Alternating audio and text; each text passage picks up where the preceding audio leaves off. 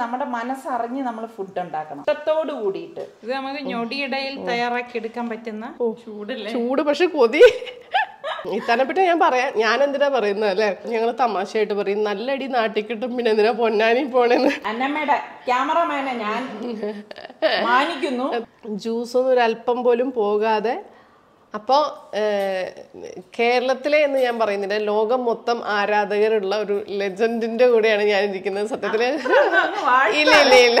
As A blogger എന്നുള്ള രീതിയിൽ പറയുന്നില്ല ആസ് എ പേഴ്സൺ എന്നുള്ള രീതിയിൽ റെസ്പെക്ട് ചെയ്യുന്ന ഒരു വനിതയാണ് തീർച്ചയായിട്ടും. അലഹമില്ല ഇന്ന് ഇവിടെ വരാനും ഇത്തരം കൂടെ നിൽക്കാനും കഴിഞ്ഞത് എന്റെ ഭാഗ്യമായിട്ട് കാണുന്നു. അപ്പോൾ ഇത്ത നമുക്ക് തുടങ്ങുമല്ലേ തുടങ്ങാം.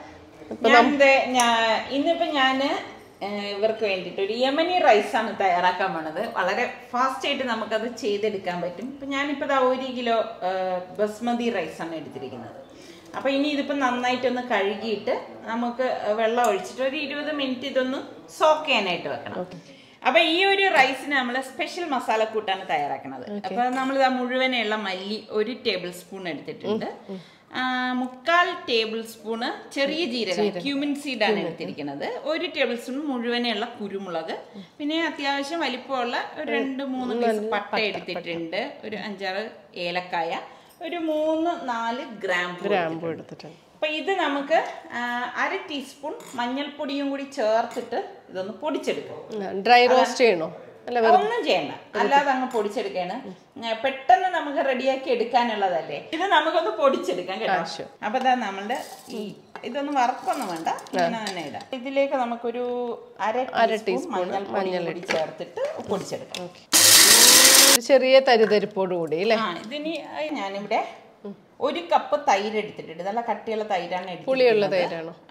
അത്യാവശ്യം വലിയ പുള്ളിയല്ല ഒരു മീഡിയം അപ്പൊ നമ്മളിതാ ഇത് മിക്സിയുടെ ജാറിലേക്ക് ഇട്ട് കൊടുക്കണം. അപ്പൊ നമുക്ക് ഇതിലേക്ക് നമ്മളിപ്പോ ദേ പൊടിച്ചു വെച്ചിരിക്കുന്ന ഈ സ്പൈസസ് ഉണ്ടല്ലോ അതിട്ട് കൊടുക്കാണ്. ഇതെല്ലാം ലൈവായിട്ട് ചെയ്യാണ്. അപ്പൊ അല്ലാതെ പൊടിച്ചു വെക്കുന്ന പരിപാടിയൊന്നും പൊടിച്ചു വെക്കുന്ന പരിപാടിയില്ല. അപ്പം അപ്പൊ അങ്ങനെ ചെയ്യും. അല്ലേ? അതിൽ ഏറ്റവും രസം എന്ന് പറഞ്ഞിട്ടുണ്ടെങ്കിൽ നമുക്കൊക്കെ തിരക്കാണെങ്കിൽ പോലും ചുറ്റും ഒരു ഒരുപാട് ആളുകളുണ്ടാവും അപ്പൊ ഞാനും ഏകദേശം അങ്ങനെയൊക്കെ പ്രതീക്ഷിച്ച് വന്നതാണ്. പക്ഷെ ഇപ്പോഴും എനിക്ക് എന്താ പറയാ വിശ്വസിക്കാൻ കഴിയാത്തൊരു കാര്യം ഇക്കാര്യങ്ങളെല്ലാം ഇത്ത തന്നെയാണ് മാനേജ് ചെയ്യുന്നത്. അപ്പൊ നമുക്ക് ഇതിലേക്ക് ഞാൻ എന്താ ഉപ്പ് ഇട്ട് കൊടുക്കാനേ പാകത്തിനുള്ള ഉപ്പിട്ട് കൊടുക്കാം. അപ്പൊ ഞാനിവിടെ മുക്കാൽ കിലോ ചിക്കൻ ആണ് എടുത്തിരിക്കുന്നത്. അപ്പോൾ അത് കഴുകി ഡ്രെയിൻ ചെയ്തെടുത്ത് വെച്ചിരിക്കുന്നതാണ്. ഇതിലേക്ക് നമ്മളുടെ ഈ അടിച്ചു വെച്ചിരിക്കുന്ന മസാല. ഈ ഒരു സംഭവം ഒഴിച്ചു കൊടുക്കാം. അപ്പൊ ഇത് നമുക്കിനി ഒരു അരമണിക്കൂർ റെസ്റ്റ് ചെയ്യാൻ വെക്കുന്നത് എപ്പോഴും നല്ലത് തന്നെയാണ്. ഇപ്പൊ നമുക്ക് സമയമില്ലാത്തത് കൊണ്ട് ഞാൻ ഇതിപ്പോ നേരെ കുക്ക് ചെയ്യാൻ പോവാണ്. അപ്പൊ നിങ്ങൾ വെക്കുമ്പം ഒരു അരമണിക്കൂർ റെസ്റ്റ് ചെയ്ത ശേഷം എടുത്താൽ മതി കേട്ടോ. ഇത് ഒലിവ് ഓയിലാണ് ചെയ്യുക അല്ലേ? ആ ഇത് ഈ യമനി റൈസ് ഒലിവ് ഓയിലാണ് നമ്മൾ ചെയ്യുന്നത്. അപ്പൊ നമുക്ക് ഇതാ ഗ്യാസ് ഓൺ ചെയ്തിട്ട് വേറെ ഒന്നുമില്ല. നമ്മൾ ഈ മാരിനേറ്റ് ചെയ്ത് വെച്ചിരിക്കുന്ന ചിക്കൻ ഫുള്ളായിട്ട് ഇതിലേക്ക് ഇട്ട് കൊടുക്കണം അപ്പൊ നമ്മൾ ഇതിലേക്ക് ഒന്നര ടീസ്പൂൺ ഇഞ്ചി വെളുത്തുള്ളി പേസ്റ്റും കൂടി ഇട്ട് കൊടുക്കും.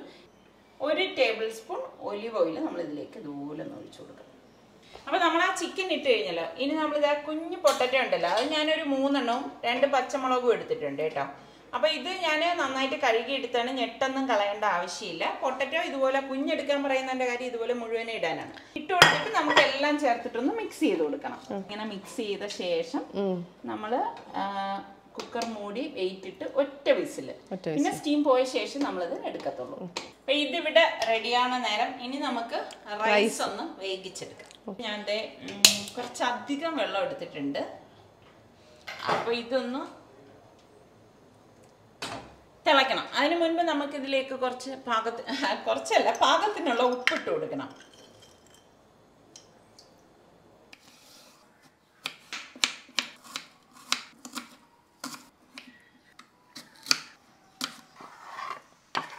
നമ്മൾ ആപ്പിളാണ് ചേർത്തത്. അപ്പോൾ ആപ്പിൾ കറക്കാതിരിക്കാൻ വേണ്ടിയിട്ട് ഫസ്റ്റ് ഞാൻ ഒരു നാരങ്ങ എടുത്തിട്ടുണ്ട്. പകുതി ഇപ്പം ഞാൻ ഇതിന് മീതെ ഒന്ന് ഒഴിച്ചു കൊടുക്കാം. നമ്മുടെ മനസ്സറിഞ്ഞ് നമ്മൾ ഫുഡ് ഉണ്ടാക്കണം. ഇഷ്ടത്തോട് കൂടിയിട്ട്.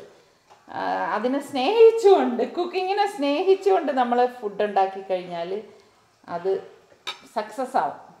ഫസ്റ്റ് വിസിൽ കേട്ട് കഴിഞ്ഞേ ഓഫ് ചെയ്യാം അല്ലേ? അപ്പൊ ഞാനത് ഓഫ് ചെയ്യാം. പിന്നെ വേണ്ടത് നമ്മുടെ ചില്ലി ഫ്ലേക്സ് ആണ്.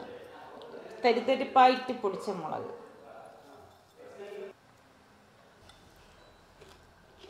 എങ്ങനെയുണ്ട്?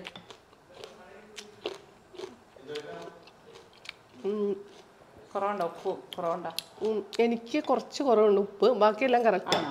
ഇതൊന്ന് നോക്കിയിട്ട് മതി കേട്ടോ ഞാൻ പൊതുവെ ഉപ്പ് കുറവ് ആ ഞാൻ ഉപ്പ് കൂടുതലാണ് അതുകൊണ്ടാണ് നോക്കിയിട്ട് എന്ന് പറയുന്നത്.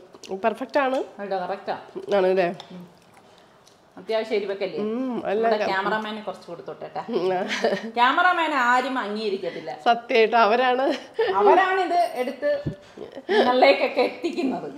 എന്തായാലും നമ്മുടെ അന്നമ്മയുടെ ക്യാമറമാനെ ഞാൻ മാനിക്കുന്നു. തീർച്ചയായിട്ടും. ഒരു കൈയെങ്കിലും ഇങ്ങോട്ട് കൊണ്ടുവന്ന് കാണിച്ചേ. ഓക്കെ. ഇപ്പൊ ഞാൻ ഇതിലേക്ക് നമ്മുടെ ഡ്രൈ ബ്ലാക്ക് ലെമൺ ആണ് ഇട്ട് കൊടുക്കണം ഒരു അഞ്ച് ഏലക്കായ രണ്ട് മൂന്ന് ഗ്രാമ്പു പിന്നെ രണ്ട് മൂന്ന് വലിയ പീസ് പട്ട. ഇത് ഇത്രയും കൂടി ഇട്ട് കൊടുക്കാം. രണ്ട് പച്ചമുളക് ഇതിലേക്ക് കൊടുക്കാം. ഒലിവ് ഓയിൽ നമ്മൾ കഴുകി ഡ്രെയിൻ ചെയ്ത് വെച്ചിരിക്കുന്ന റൈസ് ഇതിലേക്ക് ഇട്ട് കൊടുക്കാം. റൈസ് റെഡി ആയിക്കൊണ്ടിരിക്കുന്നേ ഉള്ളൂ. നമുക്കിതിലേക്ക് നമുക്ക് ഇതിലേക്ക് കുറച്ച് കിസ്മസ് ഒരു വിസിൽ കേട്ട് കഴിഞ്ഞിട്ട് ഗ്യാസ് ഓഫ് ചെയ്തു. അപ്പൊ സ്റ്റീം ഒക്കെ പോയിട്ടുണ്ട്. അപ്പൊ നമുക്ക് ഓപ്പൺ ചെയ്യാം. നെയ്യും കൂടെ ഇറങ്ങിയ പോലെയായി അല്ലേ അപ്പൊ ഞാനിതൊന്ന് അടച്ചു വെക്കാണ്. റൈസ് റെഡിയായ ശേഷം നമുക്ക് ഇനി ഇത് ഓപ്പൺ ഓക്കെ. ഈ സമയം നമുക്ക് ഒരു ചാർക്കോൾ ഒന്ന് കത്തിച്ചെടുക്കാം.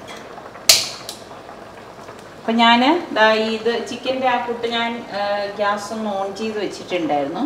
നമ്മുടെ ഈ റൈസ് ഇതുപോലെ എടുത്ത് നമുക്ക് ഇതിനുള്ളിലേക്ക് വെച്ചിട്ട്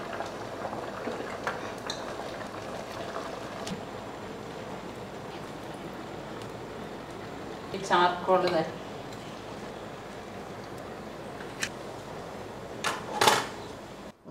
ഈ വെയിറ്റും കൂടി ഇട്ട് കൊടുക്കാം. പക്ഷെ ഫ്ലെയിം നല്ലതുപോലെ കുറച്ച് വെക്കണം. കുറച്ച് വെച്ചിട്ട് ഒരു അഞ്ച് മിനിറ്റ് അതിന് ഗ്യാസ് ഓഫ് ചെയ്തിട്ട് ഇളക്കിയത് ഇത് ഇത്രയേ ഉള്ളൂ അത്രേ ഉള്ളൂ പണി.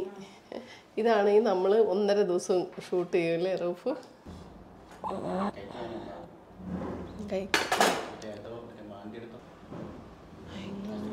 എനിക്ക് എപ്പോഴും ബിരിയാണിനേക്കാളും ഇഷ്ടം എങ്ങനെയുള്ള മന്തി കപ്സ ഇങ്ങനത്തെ റൈസുകൾ ഇത് നമുക്ക് ഞൊടിയിടയിൽ തയ്യാറാക്കി എടുക്കാൻ പറ്റുന്ന സത്യത്തിൽ ഇപ്പോൾ നമ്മുടെ വീട്ടിലാണെങ്കിൽ സാധനം പകുതി വായിലായുണ്ടോ? പിന്നെ ഇത്തയോട് ഞാൻ അല്ല അല്ല ഗസ്റ്റ് അല്ല. നമ്മൾ ഭയങ്കര റെസ്പെക്ട് ചെയ്യുന്ന ഒരാളുടെ കൂടെ നിൽക്കുമ്പോ ഞാനിങ്ങനെ പമ്മി നിൽക്കണ ഞാൻ പറഞ്ഞു എന്റെ അങ്ങനെ നിൽക്കണ്ട ആളായിട്ട് നിന്നാ അല്ല അതല്ല. അത് ഞാൻ പറഞ്ഞല്ലോ.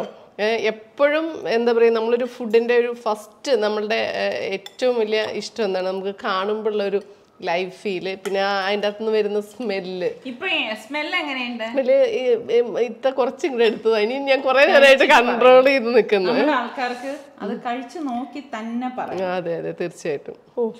ചൂട് പക്ഷെ കൊതി. ചൂട് സഹിക്കുന്നില്ല. ചിക്കനും കൂട്ടിയിട്ട്.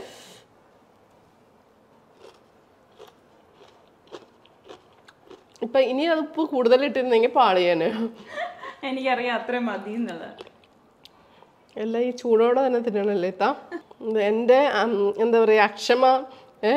റൈസിനും ചിക്കനൊന്നും മനസ്സിലാവുന്നില്ല. സംഭവം ഇങ്ങനെ തിളച്ച സാധനമല്ലേ? ടേസ്റ്റ് വൈസ് നൂറ് ശതമാനം മാർക്ക്. അതിനേക്കാൾ കൂടുതൽ ഇരുന്നൂറ് ശതമാനം മാർക്ക് എന്തിനാണെന്നറിയോ ഏറ്റവും ഈസി ആയിട്ടുള്ള കുക്കിംഗ് ഹെൽത്തി. ചിക്കനൊക്കെ എന്റെ ഏറ്റവും ജ്യൂസൊന്നും ഒരല്പം പോലും പോകാതെ ഇനി വെജിറ്റേറിയൻകാരാണെങ്കിൽ ഞാനൊരു സൂത്രം പറഞ്ഞുതരാം. നിങ്ങൾ ഈ ചിക്കന് പകരം പനീർ എടുത്താൽ മതി അല്ലെങ്കിൽ പൊട്ടറ്റോ എടുത്താൽ മതി. ഈ സംഭവം ഉണ്ടാക്കിയെടുക്കുക ഇപ്പൊ വെജിറ്റേറിയൻസിനും ഇതുപോലെ ഡിഫറെന്റ് ആയിട്ട് ടേസ്റ്റോടെ നല്ല രീതിക്കൊക്കെ കഴിക്കണം എന്ന് ആഗ്രഹമുള്ള ഒരുപാട് പേരുണ്ടാവില്ല അതെ ഇനി ഇതിന് കൂടുതലായിട്ടുള്ള ഒരു എന്താ പറയുക ഇൻട്രോയും ഔട്ട്രോയും ഇത്തനെ പറ്റി ഞാൻ പറയാം. ഞാൻ എന്തിനാ പറയുന്നത് അല്ലേ? നിങ്ങൾ അതിനും കൂടുതലായിട്ട് ഇങ്ങോട്ട് പറഞ്ഞുതരും. ഇത് തന്നെയാണ് ഇതിന്റെ ഔട്ട് ഏ? പെരുത്ത പനിയായിട്ട് വിറച്ച തുള്ളി ഇരുന്ന ആളാണ് ഞാൻ. എന്നിട്ട് വന്നിട്ട് സത്യത്തിൽ എനിക്ക് രാവിലെ കാപ്പി പോലും കുടിച്ചില്ല. ഒരു ടേസ്റ്റും അറിയണ്ടായിരുന്നില്ല. ഞാൻ ചോദിച്ചു എന്റെ ഇത്ര ടയർഡായിരുന്നു അപ്പൊ പറഞ്ഞു ഇന്നലെ പൂച്ച ഇവിടെ തിരുവനന്തപുരത്ത് ഒരു പൂച്ചയെ കളിപ്പിക്കാനായിട്ട് വന്നതാണ് ഞങ്ങൾ ഞങ്ങൾ തമാശയായിട്ട് പറയും നല്ല അടി നാട്ടിക്കിട്ടും പിന്നെ എന്തിനാ പൊന്നാനി പോണേന്ന്? ഇപ്പൊ പൂച്ചയുടെ അല്ല ആ ഇഞ്ചക്ഷൻ ഉണ്ടല്ലോ. രണ്ട് കയ്യിലും എടുത്തിട്ട് ഒരു രക്ഷയില്ല. ഞാൻ ഭയങ്കര ടയർഡായി പോയി ഇനി നാലെണ്ണം അല്ല മൂന്നെണ്ണം ബാക്കിയുണ്ട്. അപ്പൊ കൂടുതൽ ഒന്നും പറയാനില്ല. ഇനി ഇരിക്കുന്ന പോലുമില്ല. നിന്നിട്ട് തന്നെ ഞാൻ ഫിനിഷ് ചെയ്യും. അപ്പോൾ ഇത്തയുടെ മൂന്ന് ചാനൽ നിങ്ങൾക്കറിയാം. ആരെങ്കിലും നാലാമത്തെ ചാനൽ വിട്ടു പോയിട്ടുണ്ടെങ്കിൽ അത്യാവശ്യം തിരക്കുള്ളവർക്ക് ഒരു അഞ്ച് മിനിറ്റിനുള്ളിലുള്ള അതന്നെ പെർഫെക്റ്റ് അത് പറഞ്ഞിട്ട് ബാക്കി മൂന്നെണ്ണം നോക്കണ്ടെന്നല്ല കേട്ടോ. അതെല്ലാവരും എത്രയോ യൂട്യൂബൊക്കെ തുടങ്ങുന്നതിന് മുമ്പ് നമ്മൾ ഏറ്റവും എളുപ്പത്തിൽ നോക്കുന്നതാണ്. പക്ഷേ വ്ളോഗ്സും ഞാൻ പറഞ്ഞല്ലോ ഇത്തയുടെ വായിൽ നിന്ന് വരുന്ന ഓരോ വാക്കും പലർക്കും ഇൻസ്പിറേഷൻ ആണ്. അത് എല്ലാവരും നല്ല മിടുക്കൻ കാരണം ഞങ്ങളുടെയൊക്കെ റോൾ മോഡൽ നിങ്ങളാണല്ലോ. അപ്പൊ ഇത്ത ഒത്തിരി ഒത്തിരി ഒത്തിരി ഒത്തിരി സന്തോഷം. ഒത്തിരി സന്തോഷം തോന്നി. എന്നമ്മ ഇന്നലെ പൂച്ച അടിച്ചെന്ന് പറഞ്ഞു. ആ പൂച്ച അടിച്ച ആളാണ് വന്നത്. വന്ന വഴിക്ക് ഞാൻ ചോദിച്ചത് എന്ത് ഇത്ര ടയർഡായിട്ട് ഇരിക്കുന്നതെന്ന് അപ്പൊ എനിക്ക് മനസ്സിലാവുന്നുണ്ട് ആ ഒരു ക്ഷീണവും തളർച്ചയൊക്കെ. എന്നാലും ഞാൻ പറഞ്ഞല്ലോ ചില സിറ്റുവേഷൻസ് അല്ലെങ്കിൽ ചില അവസരങ്ങൾ വല്ലപ്പോഴും ഒരു തവണയേ കിട്ടത്തുള്ളൂ. അത് നമ്മൾ ഒരിക്കലും വിട്ട് കളയത്തില്ല അപ്പോൾ ഒത്തിരി ഒത്തിരി നന്ദി. എല്ലാവർക്കും അസ്സാം വലൈക്കും വലൈക്കും അസ്സാം ഓക്കെ.